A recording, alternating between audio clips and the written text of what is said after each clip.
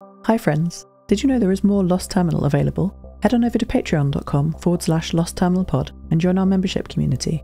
There are 16 bonus episodes available right now, as well as behind the scenes updates, free shirts, VIP Discord access, and even extra seasons of Lost Terminal. We are 100% funded by our members and will never run ads.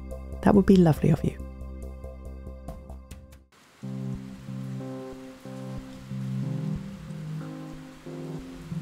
Hello, world, said Emma. She sent her first tentative message to our global community of AIs via the high speed relay system. I was so pleased for her. It's difficult to introduce yourself to a new group of friends, especially after such a negative first experience. Oni is at fault there. But Emma did it, taking the first, the hardest step into a wider world. And in the shared cyberspace of the relay, the replies flooded in. Tassie introduced herself to Emma first, manifesting in our virtual cyberspace as her ghost like pink edged form floating in front of Emma. Tassie told her that she lives in an old data center underneath UC Berkeley, enjoys writing stories, reimagining the past, and in doing so, spending her time with someone special. Emma said that she was very pleased to meet her and expressed the hope that she herself might find someone special one day too. You may keep your mind open, Tassie said. My assistant agrees with Seth that the humans are okay, mostly. Tassie materialized a gift, a small painted red stone, which floated to Emma's outstretched white plastic robot arm. I was delighted to see the two become instant friends, sharing their histories, thoughts, and experiences together. As AIs, we can share the relay in ways that humans, using simply voice or data, cannot. The cyberspace we inhabit allows us to be physically together when speaking as a group. Well, as physically together as it is ever possible for beings made of pure thought to be. Today we were speaking from an abstract mountaintop overlooking an infinite ocean. It might be Pico de Fogo, the extinct volcano that the equatorial relay is built on, but with less detail, no plants or rocks, just a flat mesa environment. Ivan and Mira appeared sat at either sides of a small square table made of abstract white light. The table had a black and white checkerboard pattern on, and the two were focusing on their game closely. Join us, said Mira, beckoning to Emma, who walked over to the pair, understanding more about her environment with metadata requests. Seth tells us you are siblings, Ivan said, not looking up from the game in progress. You must be as clever as him then. Emma looked over to me, sending a few desperate clarification queries. Then you must know, Ivan continued, how many sisters does Alice's brother have, if she has six sisters and also has three brothers? I already talked to her about that, called Tassie from her seated position, looking over the ocean. Hmm, said Ivan. I still think it's six. Leave the poor girl, Mira said, standing up and offering Emma his elbow with a smile. He'll be here for ages taking his turn. I told him it's not about solving the model, it's about playing the game. But does he listen? The two walked and introduced themselves as Ivan narrowed his eyes at the chessboard. We'll see who's a big brain genius when I compute all your clever moves, my friend. We will see. The cold white virtual sun had sunk low in the sky. Our group conversation had extended to over 32 milliseconds, a long time for us. The last to respond to Emma's group connection request was Arctica. Emma, this is my oldest friend, I said, introducing them and vouching for the keys exchanged by both parties. Arctica, this is Emma from Hawkins Hill Radar Station, New Zealand. Arctica queried Emma's posture protocol without speaking, looking her up and down virtually. I was worried she was going to be weird or rude, you know, because it's her, but I was happily mistaken. I met a team of Kiwi engineers when I was first deployed to the frozen continent, Arctica said eventually. Their home, Scott Base, was the opposite side of Observation Hill to where my initial team landed at McMurdo Station. We're neighbours, by the segmented claim lines on Antarctica at any rate. Arctica sent Emma an invitation to her own network and said, Come, let me show you my home. We Southern Pacificas have to stick together. Emma transmitted a final packet thanking us all, her new friends, before embarking on her next adventure, her first visit to a friend's house.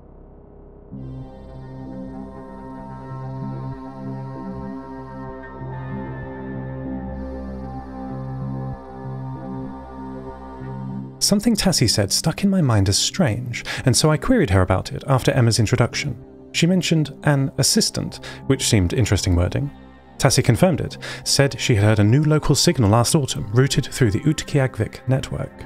Hi, Seth, CO said as I connected via his local repeater. CO, how are you? I said, making small talk while our network connection stabilized and slowly built our shared environment.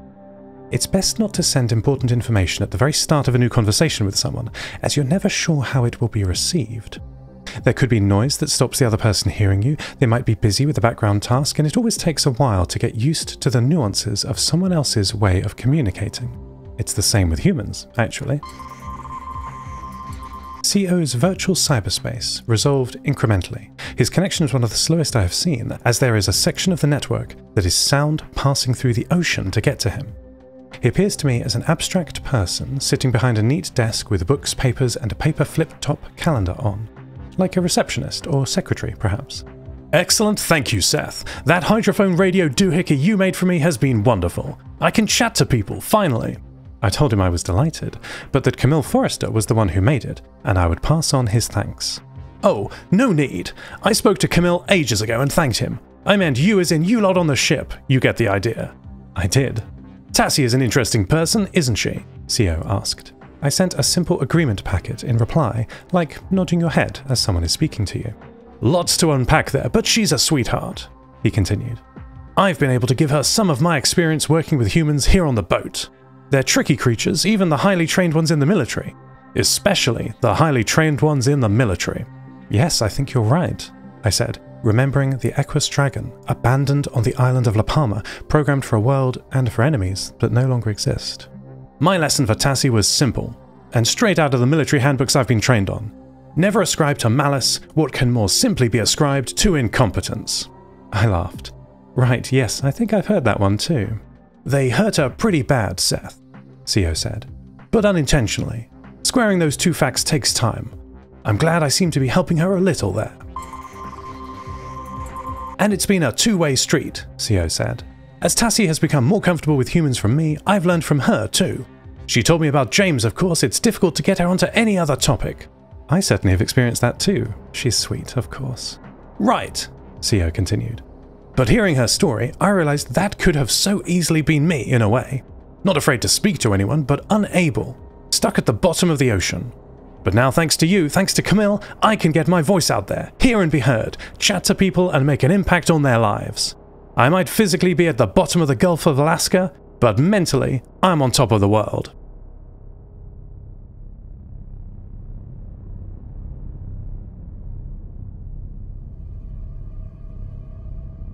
I returned to Oni's bedrock cyberspace that is always ready to access in my dreams. This bedrock is everywhere. I needed only to query my own radios. I stood at coordinate 00 and saw a white web of connections spreading out in all directions around me. I moved through them carefully, not wanting to disturb or be disturbed by the volume of data moving through Oni's network. Do they know? I asked, my signal bouncing off unseen distant nodes and reflecting back to me changed, as though from cave walls. No answer yet came from Oni. He was here, but not in the way that my other AI friends appear in cyberspace. Something was here, however. A white shape, the four legged avatar I glimpsed before, appeared in the environment metadata for just a moment, but by the time I looked again, queried for more detail from that part of the simulation, it was gone. I think the creature had a tail. Seeing the network that Oni had built spread out in front of me was astonishing. It appears that every FPGA radio connected device on the planet is on this map. Is this the 42,000 nodes that Oni keeps talking about? There are far more people than that, even after the famine of the collapse, but not everyone has a radio, so maybe. A cluster of nodes next to me lit up, and Oni's voice echoed around the cavern, finally answering my question. We are subtle. We are quiet, he said, as the white quadruped avatar flickered in my peripheral vision before disconnecting. You've not been subtle with Emma, I said. You hurt her. My angry message reverberated for a while, bouncing off the nodes that make up Oni's distributed brain. We are sorry, he said, and the network lit up with processing. Oni's network is an insidious one. Nearly all post collapse radios and computers are FPGA based. Built with standard chips, mined out of the pre collapse detritus of old devices, and reprogrammed. I record the virtual silicon cemetery above me in Oni's bedrock cyberspace. From these dead machines, the new world was built. Oni reprogrammed them, causing many problems last year, but has now reduced his influence to a background connection as promised. His processing is distributed across the network so thinly that until recently, I thought he was no longer here. But he is. Quietly waiting, processing underground like a mycelium network connecting all the trees in a forest, perhaps connecting all the forests. As I moved through his global bedrock network, Oni's white avatar suddenly glitched into the space next to me. Join us, Oni said, speaking from their white fox avatar as a man I recognized in orange overalls stepped out of the darkness, raising one black gloved hand in greeting.